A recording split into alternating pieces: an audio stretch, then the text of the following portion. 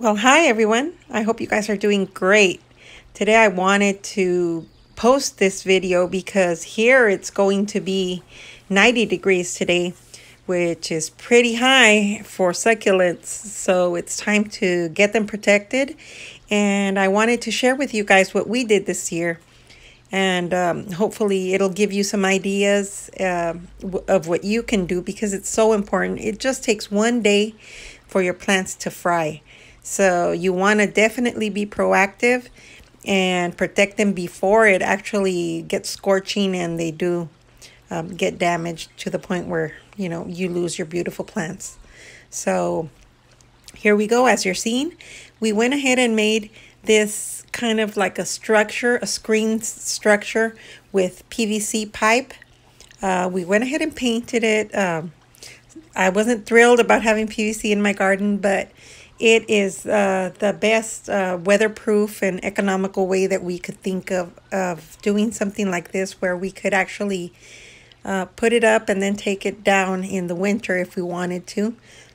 and um, we needed it to be strong enough that it would support some type of a uh, curtain um, that we would need to put on because since the sun shifts in my yard so drastically, I have a small yard, so the house, we have to play with the sunset and the house. Here you're seeing what we've done in the past, sun sails. Um, hey, not pretty, but efficient. If you have no other option, this is a good way to protect them. But in 2018, I had to come out here after seeing my plants were frying and emergency, just grab whatever I had at hand. And I, I had some uh, weed fabric and I just made a kind of like a tent. I sewed a tent structure with rope and just put that up. And this year, we went ahead and did this. And I think it's a lot more uh, attractive and efficient. If it doesn't have the curtain, you can't even really, um, at a certain eye level, it just looks like a, just, it blends with, a, with uh, the fence. So say that you have a gathering at night or whatever, just you take off the curtain um, that uh, that you need to put in the front, the cover, the protection. Um, we do have this arbor, but the arbor again, it, it only covers certain um, areas of this strip of garden because of the sun patterns. And um, on the left hand side of this garden is where we have the brunt of the scorching heat.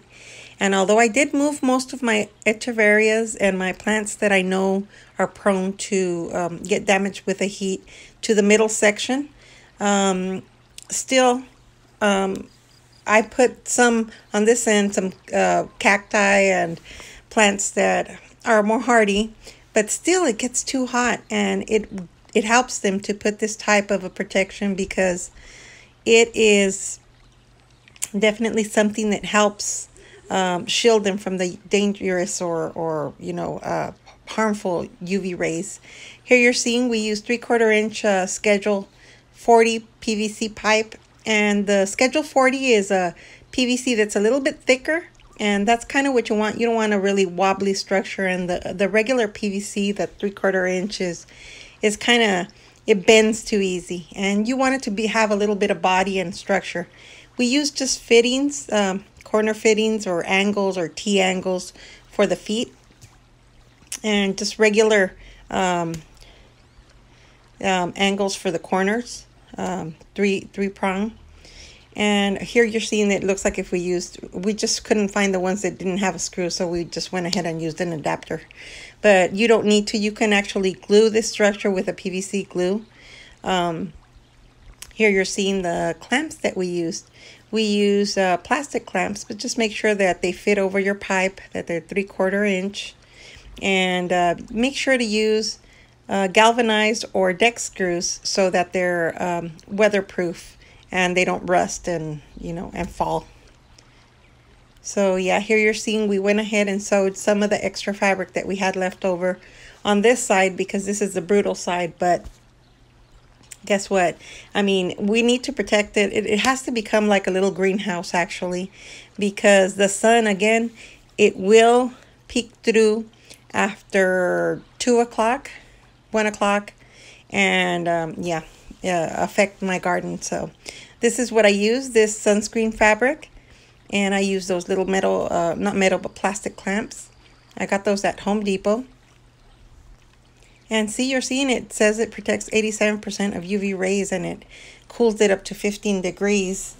Um, but you can definitely feel um, the difference when you're uh, when you peer into the enclosure of um, how it protects against the hot sun.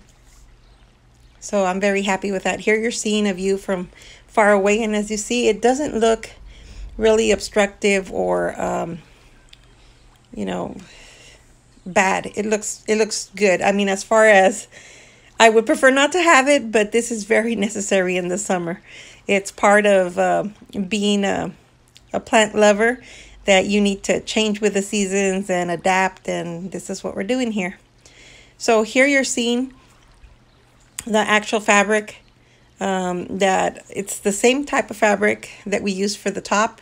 This is just a curtain and I clamped it on with those plastic clamps and that way it's uh, very um, temporary. You can remove it. You can just roll it to the side and put it away and expose your beautiful garden at night or during the day when it's scorching hot. Just leave it up like this. And it looks like a little greenhouse. I kind of like it. I'm very pleased with how it turned out. All right, everyone. I hope this gives you some ideas and that you stay cool. Thank you so much for watching. Thank you for subscribing and welcome to all the new subscribers. I will talk to you later. Bye.